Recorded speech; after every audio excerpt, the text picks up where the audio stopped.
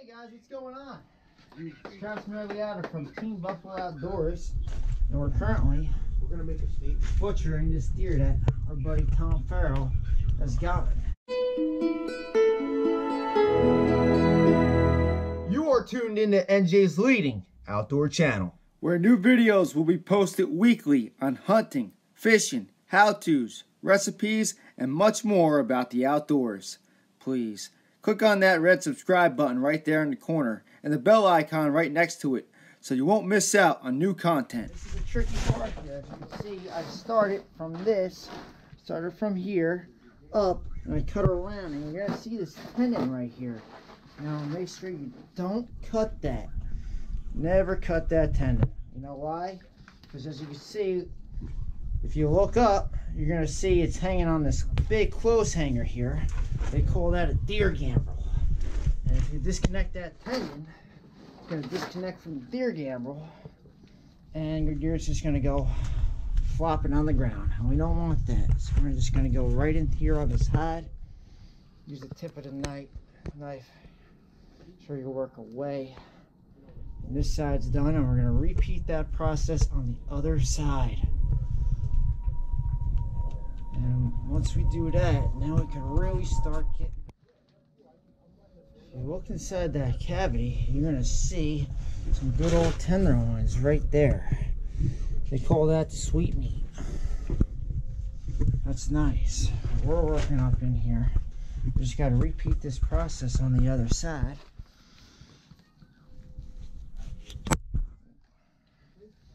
Watch. Get inside that hide. Cut up.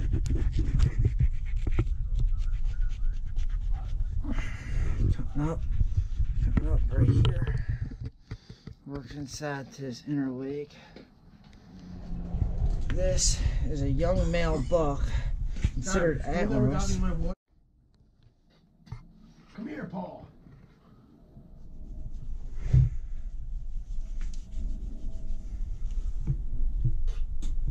How's that hide coming off, boy? Oh, the tough part's coming up soon. I hate it. Oh, you just gotta cut circles like that? No, what you gotta do is see here. Mm, here, this is connected to that sinew. But yeah, it's just it just comes off like that.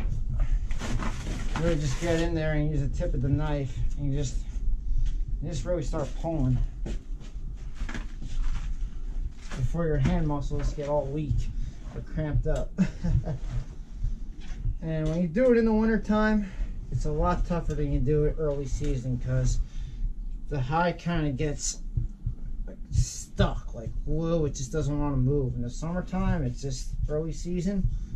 It just comes right off. My Uncle John does this. He could have this whole thing quartered, butchered in 45 minutes.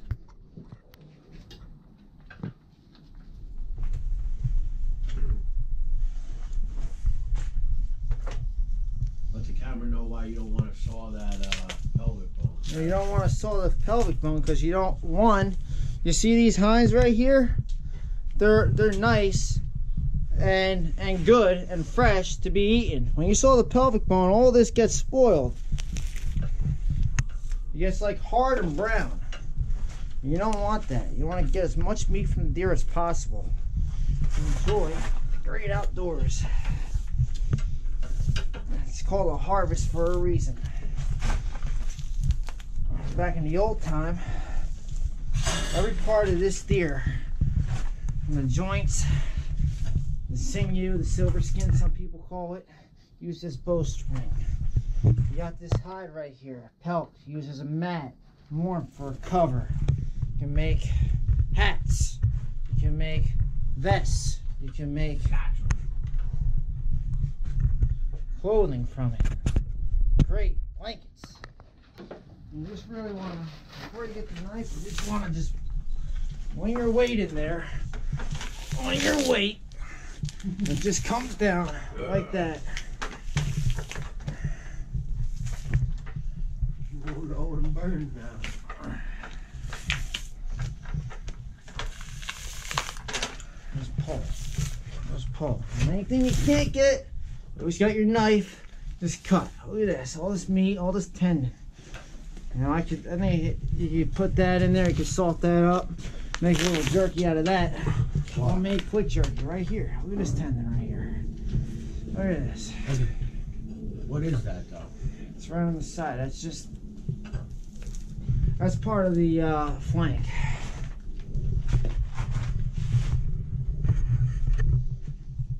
Here, here's the uh. You know, sadly, you're not going to be enjoying the rut there, fella. But just keep going. Just get in there. Work away. Cut that. All this, it's almost connective tissue. Trying to put the camera. That's the stuff they made bowstring out of?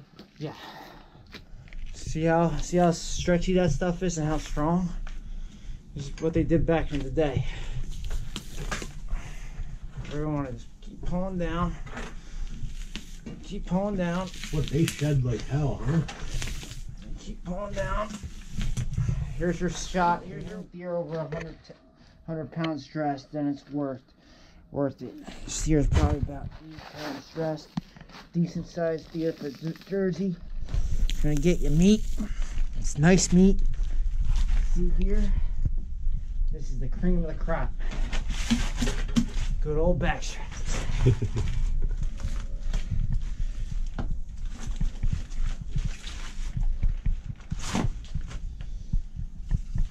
Let's get down in there.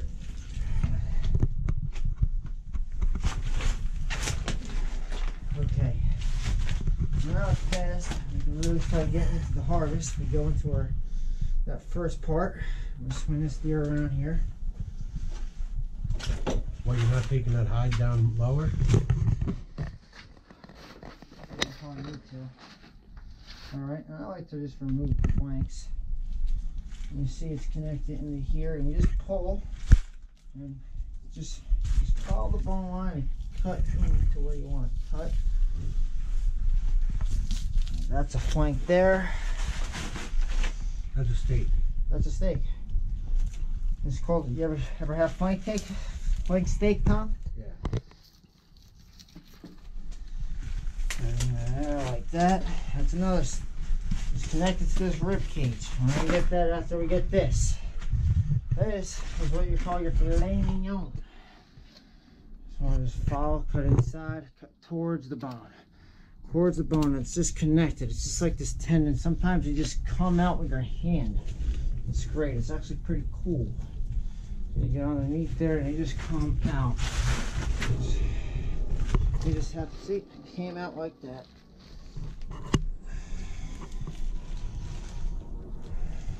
Bang. That's one tenderloin. That's it. That's a nice piece of meat there. They call that the sweet meat. And hey, if you can, get rid of that.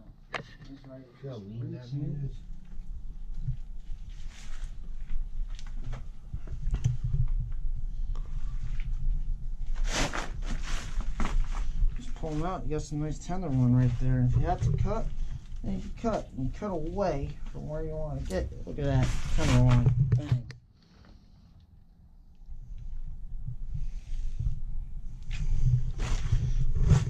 You put them. There you go. I always meat organized. So you got your two tenderloins. Every deer has two of them. Unless you screw up on the butcher job. On the job. Now next up, you get your good old flanks. Again, all you're doing here is removing meat from bone. We're just gonna follow this bone line.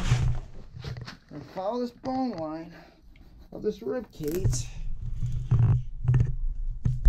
Rib, cut down towards the rib. There we go, flank. That's one. These are nice, and this is a nice thick cut of the flank. That's all steak. It's all steak.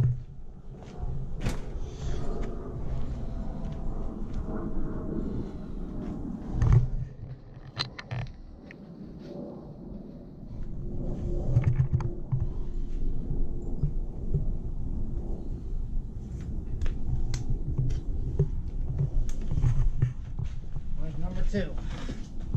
Done.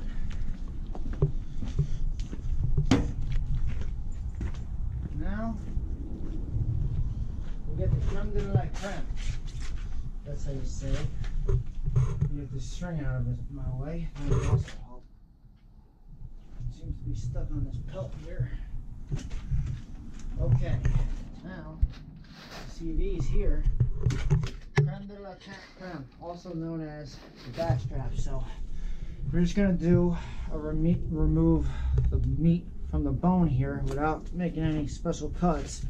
Your basic cut of backstraps, you're gonna make an incision right here on this tailbone. It separates this hind, the rump, sirloin and stuff right there. Just gonna make an incision. Right there, just gonna make it around the like connecting the dots. Every muscle, every tendon connects to itself, it separates itself. A little bit of experience, a little bit of sight. You really get deep in there. Really deep in there. Alright, now we're gonna make so this spine very important here. Very important. Very important. We're gonna run this knife into the spine. It even helps when you can see the spine. Because now you can cut it. Make sure your knife is getting deep. Getting deep in there. It's cutting towards that spine. Gonna run down to here. Now the back straps, what's cool about the back straps, it's just like the tenderloins, they're just gonna come out too. But we're gonna use a knife here. It's gonna be click, click, click. You see, you run it quick, have it here. Oh, this is a good back strap here.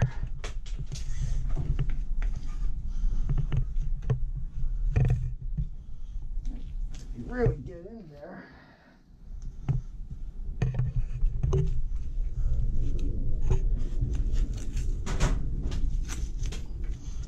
Click.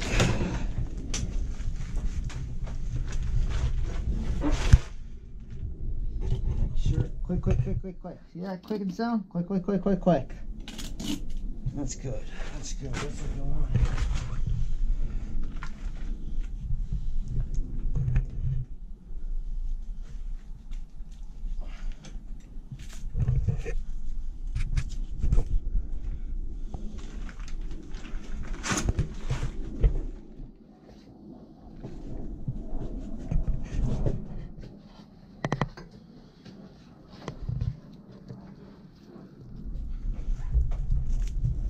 Yeah, a little bit of rib cage. Connect it, just cut away from that. You see it kind of slots itself in there. You really want to get that clicking in because that really is going to separate the meat from the. You just do this.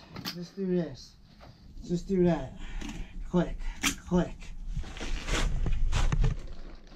Now, Tom doesn't want this connected to that. If you just wanted to get this New York strip, and then you have your ribeyes right here, this connected to that, and leave this on here, you get your tomahawk steak. Okay,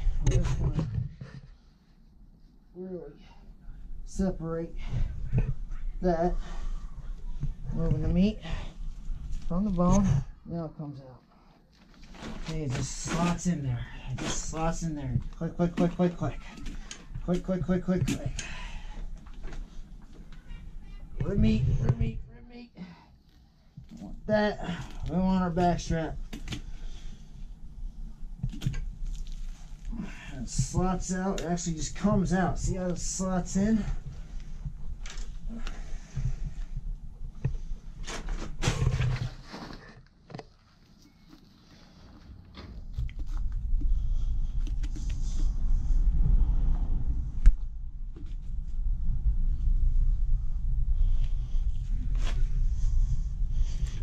That stuff's silver skin. Don't want that. It actually separates.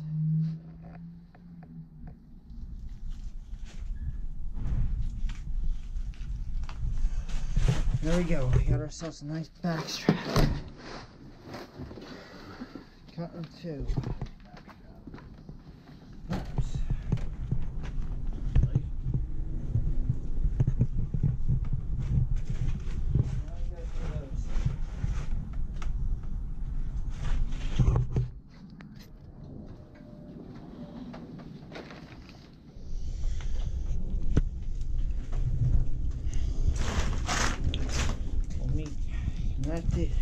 There.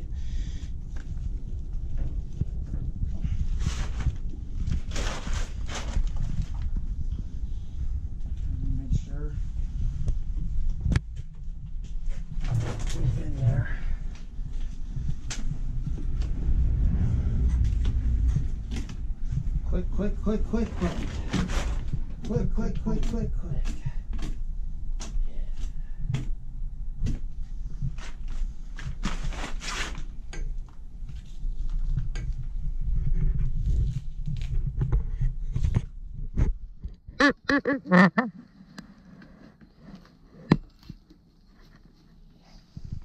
Slots in there. Just pull. Pull. See how this slot it just kind of just comes out. It's connected. This is a different type of meat right here. If you want, you can cut that. Actually, use your knife to remove some of that silver skin right there. I don't want silver skin or butchering a deer. Now you got this, and all you just you just rip that right here from the base.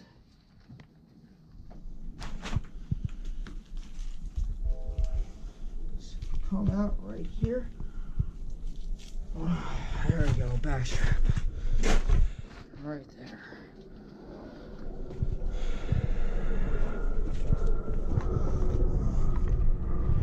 If you did it right, it should have come around the same size.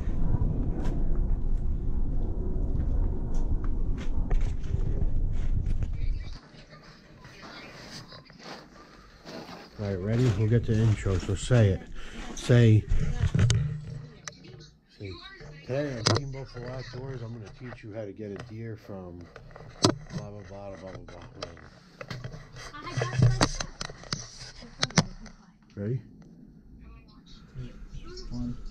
Hi guys, Travis Radley out of here. Today on Team Buffalo Outdoors, we're going to teach you how to get rid of this hind quarter, separate this from the rest of the cavity so we get to butchering this hind. We're going to take this handsaw. If you have a sawzall, you take this here, it gets it done quick. Where the back straps meet the meet the rump, you're going to take this, you're just going to saw inside. This is going to separate.